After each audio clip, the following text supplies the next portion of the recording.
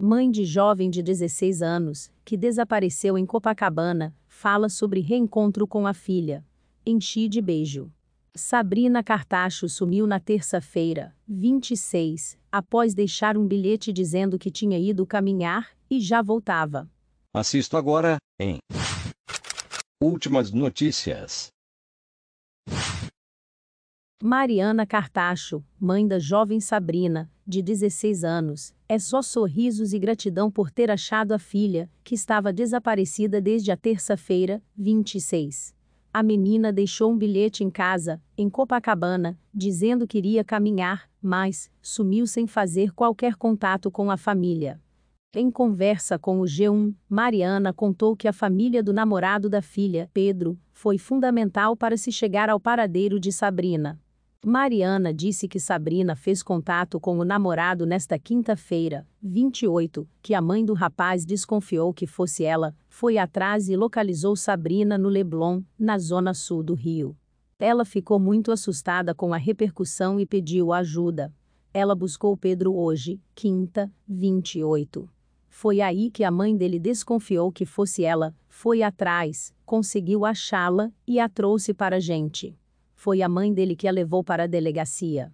Já estamos em casa, bem, estou situando ela de tudo o que aconteceu, da proporção que tomou, contou Mariana.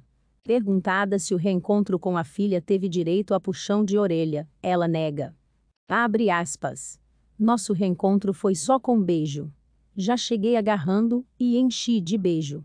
Ela estava chorando, pedindo de desculpa. Eu não tenho palavras para agradecer a todo mundo que me ajudou a encontrá-la. Fecha aspas. Disse Mariana, dizendo ainda que pretende buscar ajuda para retomar a vida. A partir de semana que vem, a gente vai buscar uma equipe para acompanhar a gente, para dar um suporte emocional para voltar à rotina e a gente ficar bem, disse. No fim da tarde desta quinta-feira, 28, a jovem Sabrina Cartacho, de 16 anos, que estava sumida desde a última terça-feira, 26, foi localizada. A informação foi confirmada ao jornal Extra, pelo padrasto de Sabrina, Roberto Salviano, que disse que o local onde a menina estava foi indicado pelo Conselho Tutelar, que acionou a Delegacia de Descoberta de Paradeiros, DDPA. Estamos aliviados, disse. O G1 falou com a delegada Ellen Souto, responsável pela especializada, que confirmou as investigações e disse que mãe e filha foram levadas para a DDPA para prestar depoimento. A jovem de 16 anos havia deixado um bilhete com apenas uma frase: Fui caminhar, já volto. No mesmo dia, os parentes da jovem procuraram a polícia, Inicialmente registrado na 12ª DP, Copacabana, o caso acabou transferido para a Delegacia de Descoberta de Paradeiros, DDPA.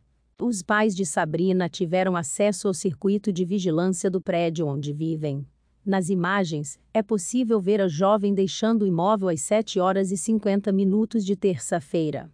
Ela carregava uma mochila que, mais tarde, foi encontrada vazia na casa do avô, em Realengo, zona oeste da cidade. Segundo Mariana, o avô não estava em casa. No início da tarde desta quinta-feira, 28, a mãe de Sabrina disse ao G1 ter recebido novas informações sobre o caso.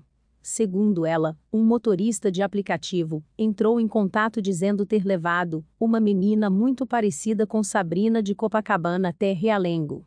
Segundo ela, o motorista afirmou que a corrida foi pedida por um rapaz chamado Pedro, o mesmo nome do namorado de Sabrina. Se inscreva para acompanhar a cobertura desta e de muitas outras notícias. Veja também essas outras notícias que podem ser do seu interesse.